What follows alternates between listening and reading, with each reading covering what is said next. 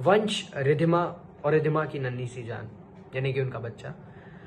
इश्क में मरजावा टू की ये कहानी अब एक इमोशनल टच पे आ चुकी है, क्योंकि हम सबको मालूम है कि कुछ दिनों बाद इश्क में मरजावा टू ऑफ़ एयर हो जाएगा और ओटीटी प्लेटफॉर्म पर शिफ्ट हो जाएगा। तो इस शो के मेकर्स चाह रहे हैं कि कुछ इमोशनल टच छोड़े और वही मैं बताता हूँ किस तरह से। वंश को ये मालूम पड़ चुका है कि रिधिमा बिल्डिंग से गिरी और कबीर ने उन्हें बचाया। वंश बहुत ज़ोर की गुस्सा भी कर रहे हैं, बहुत शॉक्ड भी हैं कि किस तरह से ये हुआ और उन्हें बहुत चिल्ला रहे हैं कि क्यों आप अपनी लाइफ को इतना ज़्यादा रिस्क में रखती है? और रिधिमा ने भी फाइनली रिवील किया कि किस तरह से अटैकर और रुद्र के मर्डरर रिलेटेड हैं।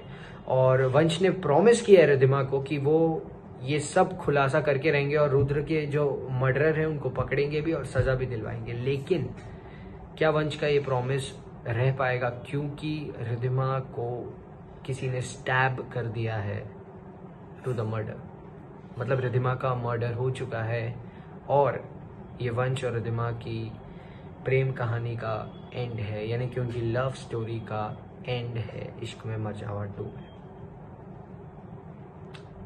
खैर, आप लोग बने रहिए हमारे साथ, जिन्हें स्पीक्स पर। बहुत बहुत धन्यवाद।